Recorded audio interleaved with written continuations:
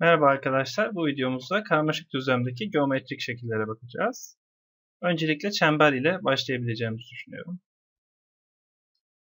Şimdi çember için verilen geometrik tanımı hatırlarsak eğer bir noktaya eşit uzaklıkta olan noktalar kümesi diye veriliyordu. Bahsi geçen noktaya merkez adı veriliyordu. Şimdi biz yine aynı şekilde ilerleyeceğiz. Elimizde karmaşık düzlemimiz olsun. Ve diyelim ki merkezi Z0 olan bir çemberden bahsedelim. Şimdi bu çemberin denklemini çıkarırken çemberin içinde bulundurduğu noktaların noktalar her zaman Z0 ile sabit uzaklıkta olduğu için biz her zaman şunu yazabiliriz. Z eksi Z0 Z'nin Z0 uzaklığı sabit. Her zaman bunu söyleyebiliriz. Ve bunu söylemek de bizi aslında çemberin denklemini ifade etmemizi sağlar.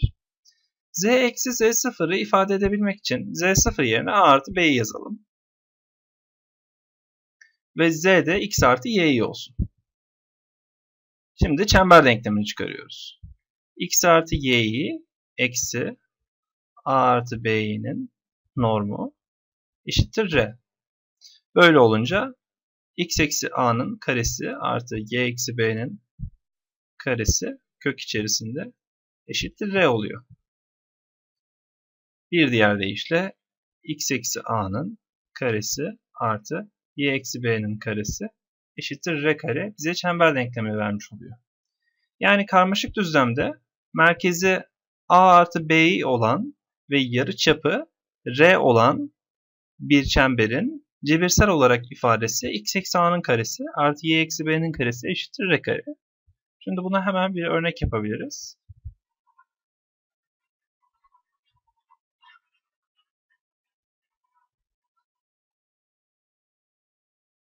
Mesela 1 artı 2 merkezli 2 yarıçaplı çemberi çiziniz ve denklemini yazınız şeklinde bir örneğimiz olsun. Önce bunun denklemini çıkarmaya çalışalım. x eksi 1'in karesi artı y eksi 2'nin karesi kök içerisinde 2'ye eşit olacak arkadaşlar. Bunu yapmamın nedeni de x artı y'yi sayısı 1 artı 2y olan uzaklığı 2 olacak. O zaman reel bölümleri birbirinden çıkarıp farkın karesini alıyorum. İmajiner bölümleri birbirinden çıkarıp farkın karesini alıyorum. Ve bunun da kare kökünü 2'ye eşitliyorum. Bu aslında çemberin denklemi olmuş oluyor.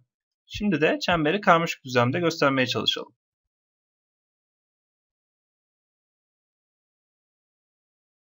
Bir artı 2'nin yerini buluyorum öncelikle. Ondan sonra bu noktaya 2 uzaklığındaki noktalar kümesini çizmem gerekiyor.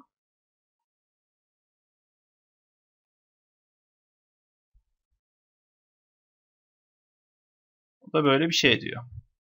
Hatalı çizdiğim bölgeyi sileyim hemen.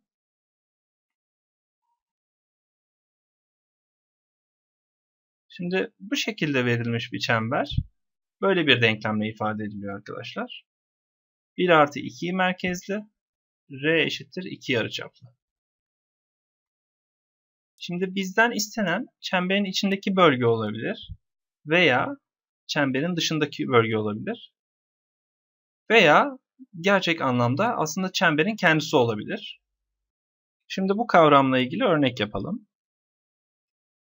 Mesela bizden şu şekilde bir bölge istensin. z eksi 1 normu küçük eşit 2.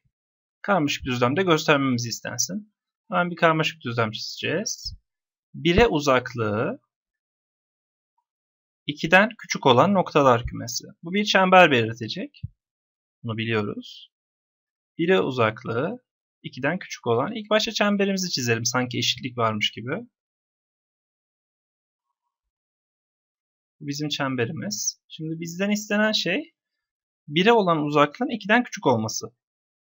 Eğer tam bu çember üzerindeki noktaları alırsam uzaklık 2 oluyor. Şimdi daha yakın noktaları alırsam eğer buralardan alırsam uzaklık tabii ki 2'den küçük olacak. Bu nedenle benden istenen noktaların içerideki noktalar olduğunu anlamış oluyorum. Ve buradaki eşlik ifadesinden dolayı çemberin kendisi de dahil oluyor. Eğer bölgeyi taramam istenirse bu şekilde tarayacağım. Eğer bana büyük 2 ifadesi sorulsaydı bu sefer karmaşık düzlemde çemberimi çizdikten sonra işaretleyeceğim bölge dışarısı olacaktı. Fakat çemberin kendisi dahil olmadığından bu sefer çemberi gösterirken biraz daha küçük ifadeler kullanmam, kesikli ifadeler kullanmam gerekiyordu. Böyle bazı yerleri kesikli kesikli yapacağım bu sefer. Ve bu da bana aslında çemberin dahil olmadığını gösterecek. Bu şekilde kesikli hale getirebiliriz.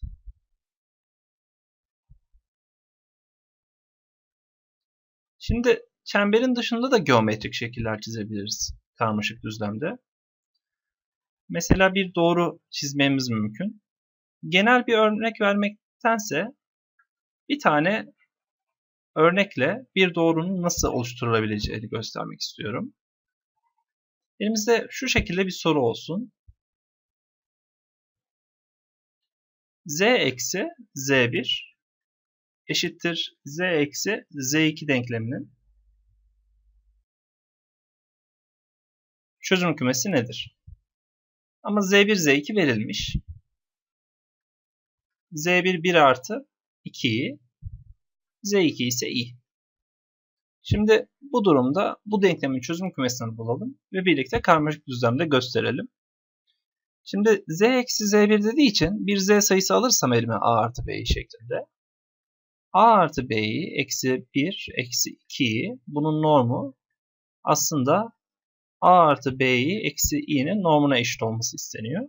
Normlar için bildiğim tanımı kullanıyorum. a eksi 1'in karesi b eksi 2'nin karesi eşittir a kare artı b eksi 1'in karesi. İki tarafta kök içerisinde iki tarafın karesini alabilirim ve şunu yazabilirim. a eksi 1'in karesi artı b eksi 2'nin karesi eşittir a kare artı b eksi 1'in karesi. Bu denklemi çözmek için de kareleri açabilirim. Birinci tarafta a kare eksi 2a artı 1 b kare eksi 4b artı 4 eşittir a kare artı b kare eksi 2b artı 1 var. Şimdi eğer dikkatli bakarsak a kareler gidiyor, b kareler gidiyor. Geriye a ve b'nin katsayıları ve normal sabit terimler kalıyor. Bu da eksi 2a eksi 4b artı 5 eşittir eksi 2b artı 1 eşitliğini veriyor bana. Mesela şu taraftakileri sağ, sağ taraftakileri sola atarsam eğer eksi 2a eksi 2b artı 4 eşittir 0 denklemini elde ediyorum. Bu da aslında a artı b eşittir 2 doğrusu olmuş oluyor. Yani burada gördüğümüz aslında cebirsel ifade aslında bir doğruymuş ve bu da a artı b eşittir 2 doğrusuymuş. Şimdi bu doğruyu tabii ki çizebiliriz. Sanki e, karmaşık düzlemi iki boyutlu reel düzlem gibi düşünüp yani x artı y burada x var, burada y var gibi düşünüp x artı y 2'yi nasıl yapıyorsak burada da tabii ki bunu aynı şekilde yapacağız. Bunun nedeni basit. Reel ve imajiner kısmının toplamının 2 olduğunu biliyorum. E aslında burada x, y olsa da x ile y'nin toplamının 2 olduğunu biliyorum gibi düşünebilirim. Bu da tabii ki şöyle bir doğru edecek. Burada 2 olacak, burada 2 olacak. Bu doğru aslında bu denklemin çözüm kümesi olmuş olacak. E Hocamdan Dinlerim projesinin bu videosunun size yardımcı olduğunu düşünüyorsanız, videonun açıklamalar kısmındaki web sitemizi ve Facebook sayfamızı beğenerek bize destek olabilirsiniz.